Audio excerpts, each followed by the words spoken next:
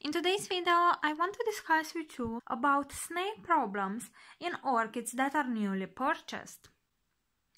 Here we have four orchids that I recently got from Secret Garden and uh, some of them are in uh, better condition than others. So I will start from here, from the left. This is my Bellara Joyous Drum and um, she has nails.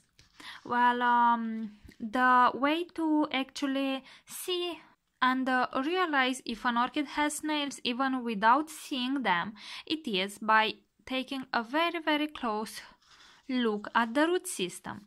We can see here that the roots are munched off and they stopped growing quite suddenly. And uh, it is very very important to know the signs because snails can actually kill orchids if they get undetected for uh, extended periods of time. They munch off root after root until uh, the orchid depletes from energy.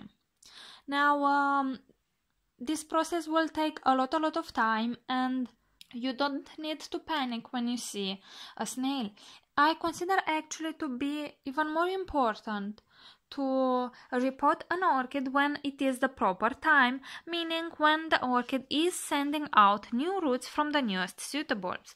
Right here I have my Burrageara Nelly Isler and uh, she has this new shoot here and this one here. This is not uh, the right size yet to produce new roots, but this one is, and I am quite sure that there inside the medium she is pushing up uh, some newer roots. And uh, this would be a good time to repot this particular one, but I am waiting for her to finish up the blooms.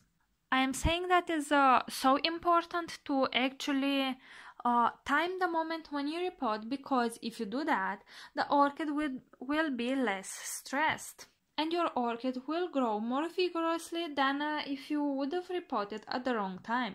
Usually, the roots from the orchid are um, adapted to the medium they have grown in, and uh, when you will repot it, the roots will die, or at least a good part of them. So, uh, for example, let's take this one. It is my new Sharry Baby, very, very beautiful orchid. I will uh, do a care tutorial for it, but um, we can see that it is very, very healthy and it has a lot of roots. If I would take right now this orchid and put it in semi-hydroponics, I would say about 80% of the roots would die. That would stress a lot the orchid and uh, the next growth will be smaller. We don't want that and um, I will actually wait for the orchid to send out new roots until I will repot it. So one of my uh, first ways to actually control snails inside orchid pots without repotting it because we don't want to disturb the plant. It is to firstly soak the orchid pot in hydrogen peroxide 3% that will kill all the snails and snail eggs that uh, exist in uh, that pot.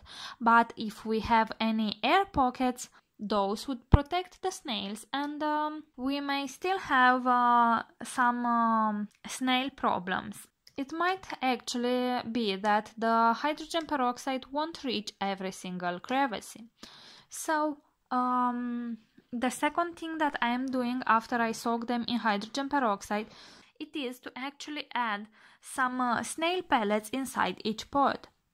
Of course, as I said, this won't stay for uh, a lot of time inside the pot and uh, if a snail or another bug um, goes here on the top of the medium and the slimes onto the, the snail pellets, they will die. This is actually poison for them.